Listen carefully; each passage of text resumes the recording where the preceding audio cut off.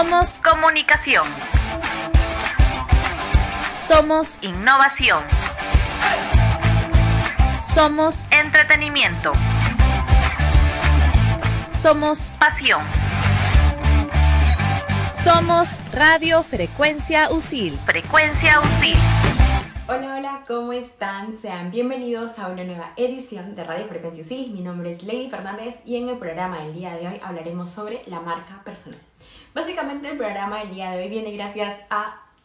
en, en mi cerebro esto suena diferente, pero este programa viene porque en, en el programa anterior hablamos un poco sobre el liderazgo y en alguna parte del programa mencionamos la marca personal.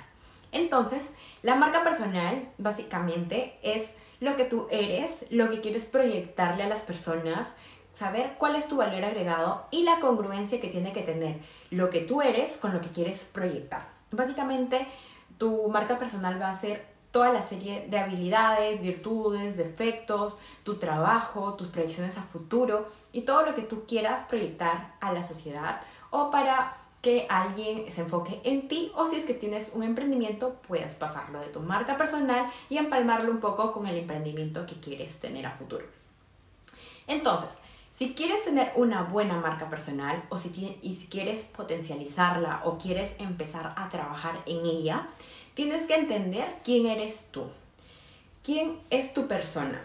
¿Qué habilidades posees? ¿Cuáles son tus virtudes? ¿Cuáles son tus defectos? Saber cuáles son tus capacidades, tus habilidades y todo lo que venga de manera positiva en ti. Aquí es muy importante también conocer tus debilidades y los defectos que posees, porque esto también va a ser parte de tu marca personal, pero puedes, al momento de identificarlas, puedes saber cuáles son y sobre todo empezar a trabajar en ellas para mejorarlas. No está mal identificar todo esto.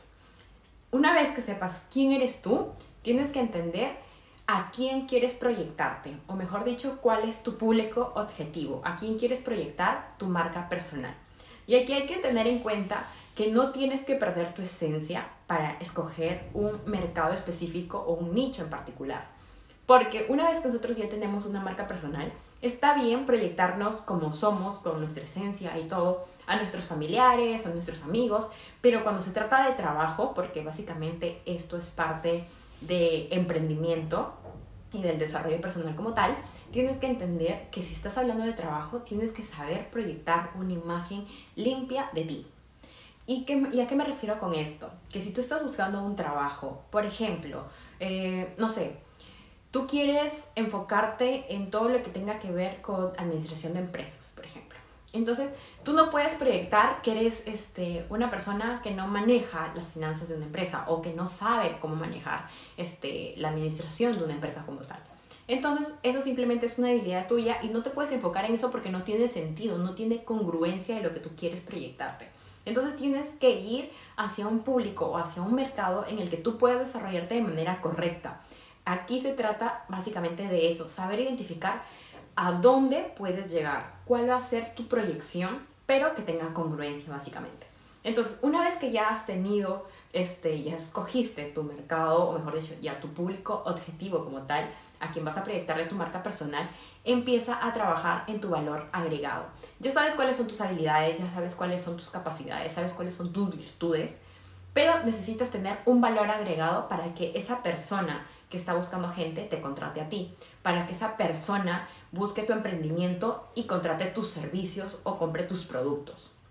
Entonces, ¿Cuál es tu valor agregado? ¿Qué es lo que tienes? Tal vez si estamos hablando solamente de manera personal, tú como una persona sin ningún negocio, sin ningún emprendimiento este, contigo, lo que tienes que hacer es ver cuál es tu valor agregado. Bien, eres una buena profesional, tienes currículo, tienes, este, tienes valores muy buenos, tienes este, capacidades y habilidades súper este, importantes, pero ¿cuál es tu valor agregado? Tal vez eres una persona que es este, súper perfeccionista y que siempre está ahí, ahí, es muy constante con su trabajo, es una eres una persona muy trabajadora, pero muy decidida a lo que quieres, entonces tal vez ese puede ser tu valor agregado.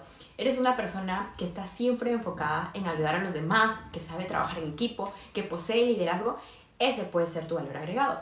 Tienes que saber qué es lo que puedes brindarle a la empresa para la que quieres trabajar este, o a la persona que te puede contratar qué es lo que le puedes ofrecer más allá de lo que tú eres cuáles son tus habilidades extra, cuál es el plus que tú tienes. Aparte de esto, hay que tener en cuenta que en una marca personal debe haber congruencia sin perder esencia, como lo dije en algún momento. Si tú eres una persona congruente con lo que eres, vas a proyectar esa seguridad y esa confianza que posees en ti porque todo está desarrollado de manera correcta. Si no lo tienes, pues empieza a trabajar en eso.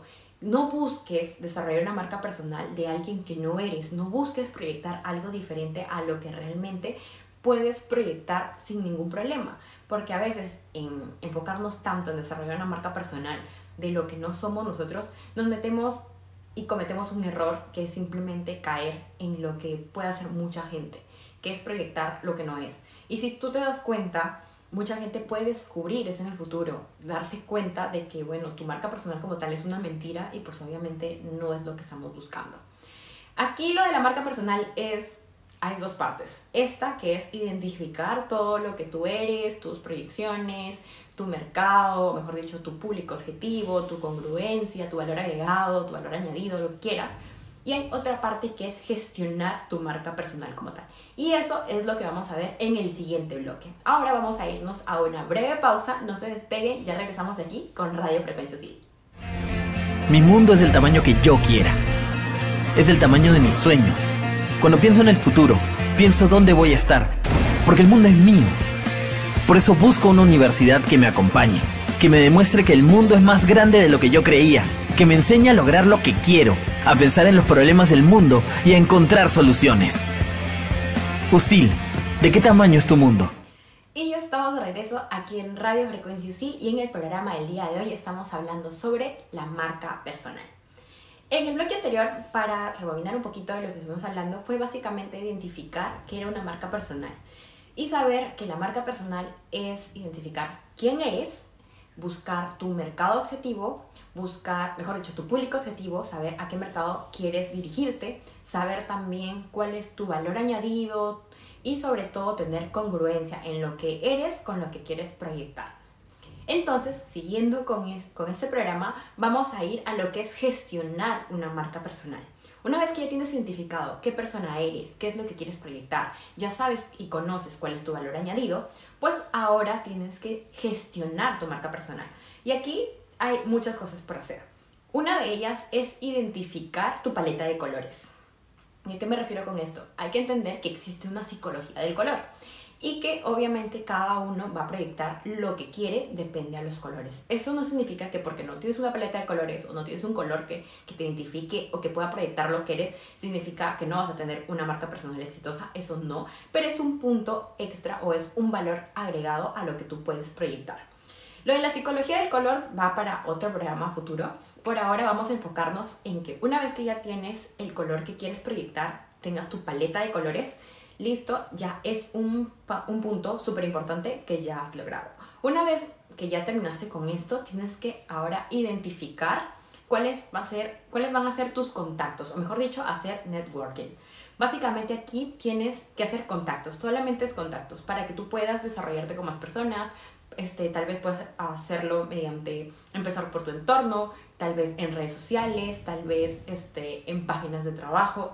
Y si es que no sabes cómo hacerlo, hay empresas que te pueden asesorar. Pero obviamente no te vayas con cualquier empresa porque pues hay de todo, para todos los gustos, hay de todo. Entonces búscate una empresa que sea este, buena con lo que hace y sobre todo efectiva a la hora de asesorarte. Una vez que ya tengas esto definido y ya sepas qué es lo que quieres, ya tengas lo de tu paleta de colores, ya tengas lo del networking, pues ahora enfócate en desarrollar tu marca personal como tal y estar en la web. Yo sé que con todo esto de la era digital, este, la mayoría estamos en la web, estamos en redes sociales, pero tienes que entender que si tú no estás en las redes sociales o si tú no estás en la web o tienes una página web como tal, no existes. No estar en, en este mundo digital es prácticamente no existir. Y yo sé que suena un poco como es demasiado, no sé, ¿por qué tendría que estar en las redes sociales si no quiero? Pero es que en realidad para que tú proyectes tu marca personal tienes que estar en las redes sociales, porque cuando alguien te va a contratar y tenga tu currículo, va a querer saber quién eres tú más allá de lo que le has mostrado en tu currículo. ¿Y dónde va a buscarte? En las redes sociales. Entonces, por allí empieza, empieza a tener unas redes sociales limpias, unas redes sociales que proyecten lo que tú quieres. Entonces cuida mucho la apariencia de tus fotos. No, con eso no digo que te tengas que limitar a, por ejemplo, si quieres tomarte una foto en la playa, no lo hagas. O porque quieres tomarte una foto con tus amigos, no lo hagas. Pero tienes que separar. Por eso, si es que puedes, ten un perfil personal donde estén solamente tus amigos, tus personas más cercanas y todo lo demás. Y un perfil profesional. Tal vez puedas tener una página web. No necesitas ser un influencer, no necesitas ser un político, un deportista o alguien para que tú puedas influir en los demás, para que tú puedas proyectar tu marca personal. No necesitas eso. Como les dije, ya como tal tienes una marca personal que puedes proyectarla a los demás. Entonces créate una página web, porque así la gente te va a conocer un poco más, vas a ver qué, qué es lo que tú tienes para ofrecer, qué es lo que ellos pueden obtener de ti si es que te contratan o si contratan tus servicios o si contratan tu, o si compran tus productos, si es que ya tienes un emprendimiento al que quieres proyectar tu marca personal.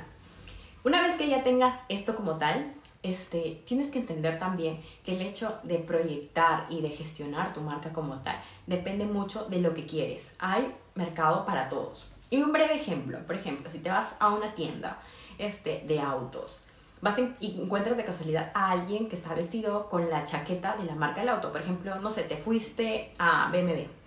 Entonces, la persona tiene la casaca con la marca de del concesionario, te muestra los carros, te dice, mira, déjame tus contactos, yo te doy tal, tal, tal, te mando tips de lo que puedas hacer, cómo puedes este, mejorar la, el uso de tu auto, no sé qué, por aquí, por acá. Entonces, y te vas a otro concesionario diferente. O tal vez en el mismo concesionario encuentras a una persona con una marca personal diferente. Tal vez está vestido de, de saco y corbata, súper formal, te habla súper serio. Sí, mire, le voy a mostrar los carros, estos son, esto, estos son los planes de venta, estos son nuestras promociones, cualquier cosa, esta es mi tarjeta, me llama, este, yo puedo orientarlo por aquí, por acá, de una manera más formal. No tan alegre como el otro anterior.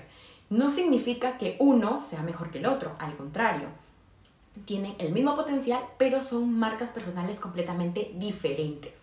Entonces tú puedes desarrollar tu marca personal a lo que se adapte a ti, a lo que tú eres. No tienes que seguir un ejemplo. Y si es que en caso no tienes a alguien que te asesore o no quieres hacerlo ahora porque mucho dinero o porque sientes que no es tan necesario ahorita, pues busca a alguien de quien orientarte o de quien mm, tomar un modelo. Eso no significa que tienes que copiarle. Puedes buscar personas que sean tu motivación y que sea alguien de los que puedas inspirarte, más no copiar y ser y querer ser esa persona porque somos, todos somos diferentes, entonces eso no va a funcionar.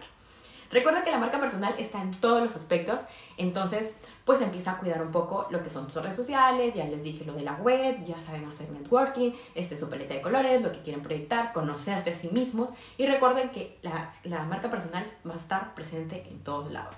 Incluso si eres una persona que está soltero, soltera, y no sé, por ahí tienes un prospecto de chico o de chica, esa persona va a entrar a stalkearte de tus redes sociales. Entonces, pregúntate a ti mismo, ¿qué es lo que quieres proyectarle a esa persona? Allí también está tu marca personal.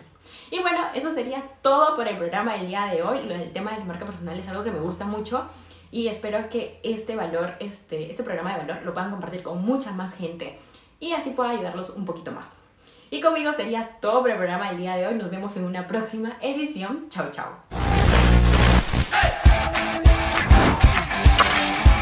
Somos Comunicación. Somos Innovación. Somos Entretenimiento. Somos Pasión. Somos Radio Frecuencia USIL. Frecuencia UCIL.